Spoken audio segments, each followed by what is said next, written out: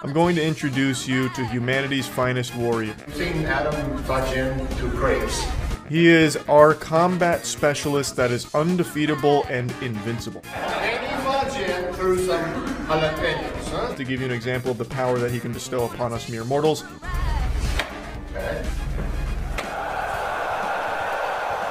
Now you see, Adam Mizner, the Nacho Man remembers when I first stumbled upon your bullshido demonstrations. It was enough to make me hot.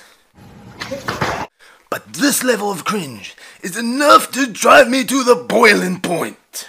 Ready? Here we go. Now you see, Adam, you've got other YouTubers now that's making fun of your cringy bullshido. acting on in Taiji is after the repulse monkey and you're following them down like this, you can keep following through doing a full ballerina twist, getting out a shovel and digging their grave because you just fucking killed them with the repulse monkey. but he has the balls to think he can challenge Sensei Scrotum Scabs to the title of baddest seated mofo alive. I think not, Mizey. Stick to cuddling blokes and letting them on your pong. But long before then, the mega powers of ass combine forces to bring you down. And you are yet to accept a challenge. I would just love to push hands with Adam. I'd love to push hands and see if he can make me hop around or jump on the floor. And we all know why. That reason is because you guys are garbage. Here's a towel to wipe your tears. And the reason why you avoid the challenge is obvious. Actually back on the jab. There we go, there's a head kick and a spin as well. It's dropped Watkins. And this video is to show the world the levels of cringe that you go at because you think your Fajin is spicy. But yet your spicy Fajin is nothing but a crumb in the chi flow which is nacho madness. If you want the chi that's guaranteed to be hot and make you hop, you need to remember that the sour cream always goes on top. Before we get into the video, let's look at today's sponsor. Are you tired of Tai Chi instructors prohibiting you from unlocking your full potential by talking in circles? one gram of pepper. Because it's correct, not because it's loud. You want them to get to the point? I'm gonna let you in a little secret. Before I let my chi flow, I like to. Oil my shoulder, oil my shoulder, oil my shoulder, oil my shoulder, oil my shoulder. Shoulder dry, so you need chili oil.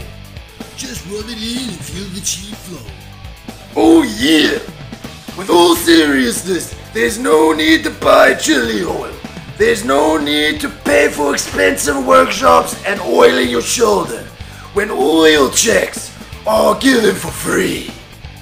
Now back to the video on the jalapeno breakdown.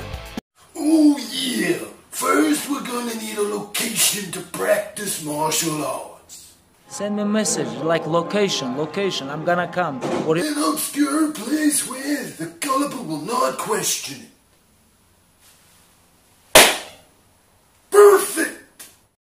Next up, we're gonna need a logo. Now, you heard of Heaven Man Earth?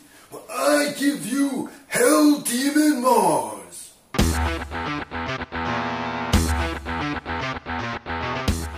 We just need some cult members. Now that I don't have ass here to help me, I'm not gonna get any help from those pukesters from the left, nor am I gonna get any help from those pukesters from the right. So, that should do it. Now we can practice some martial arts for gullible people. Let's get the chi flowing. First up, we've got habanero peppers. We're just gonna use two spicy habanero peppers. Now, when we're in this position, we just need to focus on being correct. Not light, not heavy, correct. And when we are correct, you gotta be in the present. Because when we're in the present, our party will always be in the past. And the past is just the pause. Then you add one gram of pressure.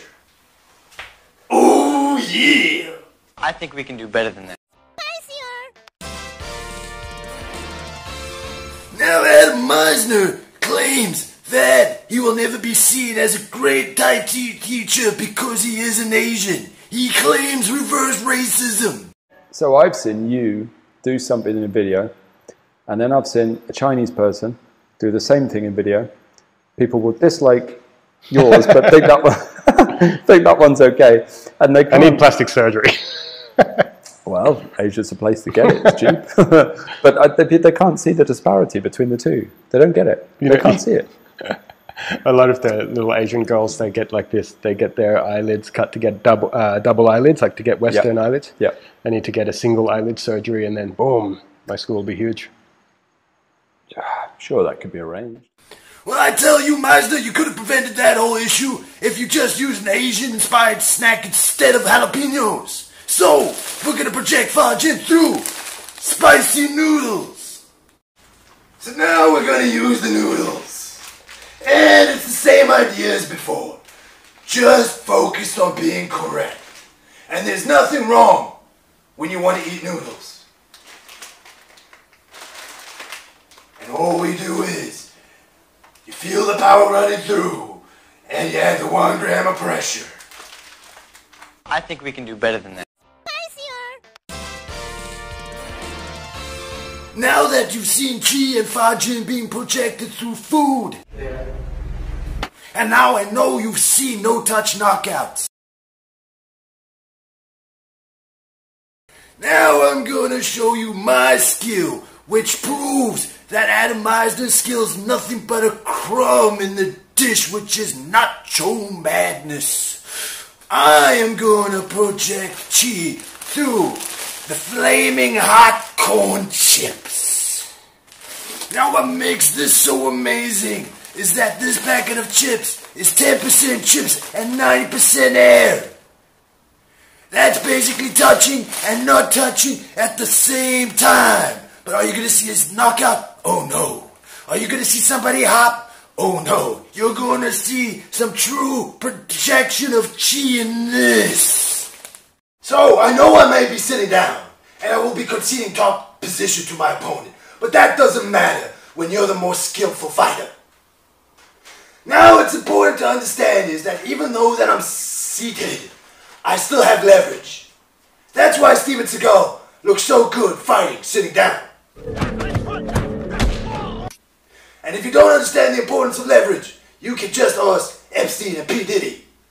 Now what I'm gonna do is, I am gonna project all my chi through this bag of hot chips. And I'm gonna let that chi flow, and my opponent is gonna be completely compliant while I let that chi flow into them. And when they feel it, Oh fuck, you're gonna make me. He comes on my pong. they get the ring sting. Now you see what makes me more powerful than P. Diddy is that I can give ring sting to anyone without taking my pants off. Now that I show that my skill is spicier than Adam's, I know what you're asking. Nacho Man Munchie Ravage. Why would you still want to take on the master when you train at a workshop hosted by his little brother Gabriel? Well, I'll tell you what. After I posted that video of me attending that workshop on April 1st, I had a lot of time to improve and find my internal transformation.